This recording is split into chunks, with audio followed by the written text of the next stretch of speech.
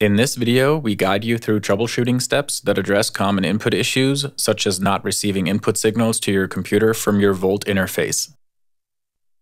When troubleshooting input issues, the best approach is to follow the signal path from its source to its destination. First, make sure that you're using the correct cable and the correct input for your source. Microphones should always be connected to Volt using an XLR cable and should not be connected using quarter-inch cables. If you are using a condenser microphone, make sure the phantom power is activated on Volt via the 48V button. Line level signals such as keyboards and instruments like guitars and basses should be connected to the quarter-inch input using TRS or TS cables. When connecting an electric guitar or bass, press the instrument button above the input. Once your sound source is connected to Volt correctly, make sure that the input gain is turned up. If there is still no signal shown on Volt's input meter, try testing another cable of the same kind to rule out a faulty cable. If you see a signal on Volt's input meters and can hear the signal on the headphone or monitor outputs, but are not getting any input signal in your audio software, First, make sure that Volt is connected properly and recognized by the computer. Volt should be connected to a USB-A or USB-C port on your computer using the appropriate cable. Volt's host LED lights up when the interface is connected and recognized by the computer.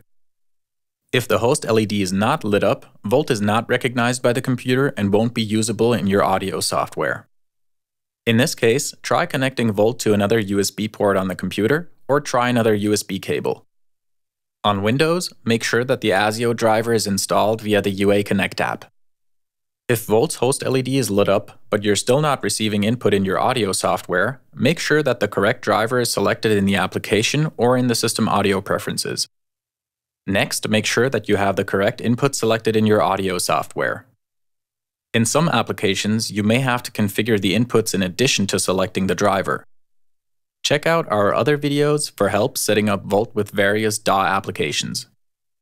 Lastly, on macOS, make sure that microphone access has been allowed for the software that you are using. When you first open an audio application, you are prompted to allow access to the microphone. If you click Don't Allow, no input will be passed to the software from any audio interface, even if you're not using the microphone inputs. To manually allow microphone access for an application, open the System Preferences, Security and Privacy, and open the Privacy tab. On the left side, select Microphone. To make changes, click on the lock in the bottom left corner and enter your password. In the list, every application that you want to use to record input signals has to be checked. Reopen your audio software, confirm your settings, and you should now receive inputs from Volt.